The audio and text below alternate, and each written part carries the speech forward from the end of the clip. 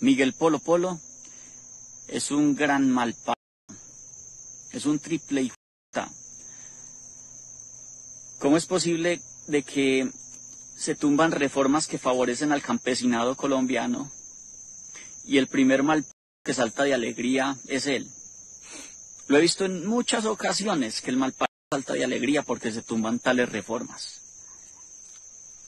Y lo que más da rabia e impotencia es que mientras ellos hacen y deshacen, por acá estamos eh, camellando y mandándole comida a un mal de esos.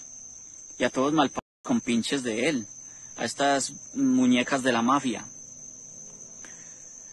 Y entonces yo pienso que en vez de ser campesino duele bastante.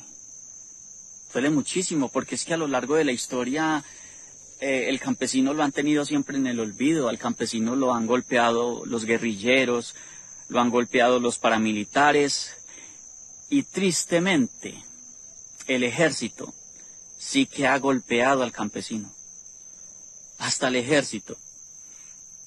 Yo no sé, en veces como que ser del campo es casi como una maldición.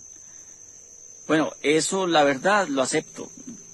Por eso es importante eh, saber elegir por ese lado de verdad que con este gobierno vamos bien. Y, bueno, les quería decir que Miguel Polo Polo es un triple Qué rico que esto que estoy diciendo le llegara a gonorrea.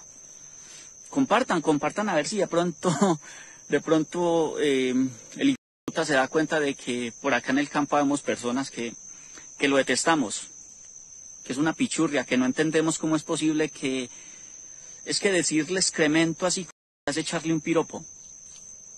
Eso, eh, mejor dicho, una basura es mucha cosa al lado de ese man. Entonces ahí los dejo pues. Eh, esperemos que algún día el pueblo colombiano empiece a despertar aún más y no vuelvan a elegir a malpados como estos. Es increíble que eso esté en el Congreso.